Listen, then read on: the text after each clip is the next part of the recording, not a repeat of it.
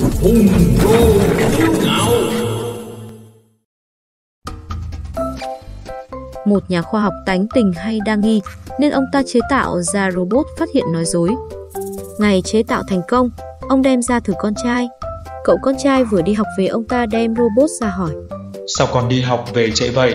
Con qua nhà bạn mượn sách về học.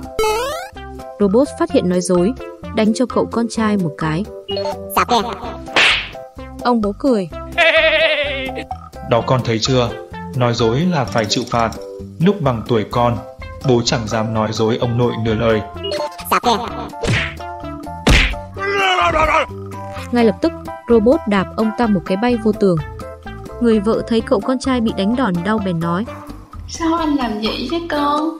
Dù sao nó cũng là con anh mà kìa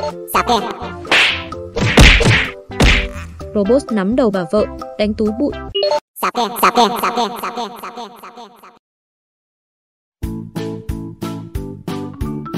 Vậy anh có uống rượu chứ? Đời anh chưa từng uống một giọt rượu nào Thế còn cờ bạc? Chắc anh cũng có chơi chứ? Không khi nào, em biết đấy Vậy ngoài em ra, anh còn để ý đến cô nào không?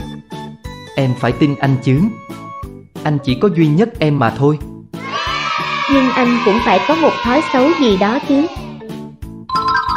À Đúng là thỉnh thoảng anh có hay nói dối.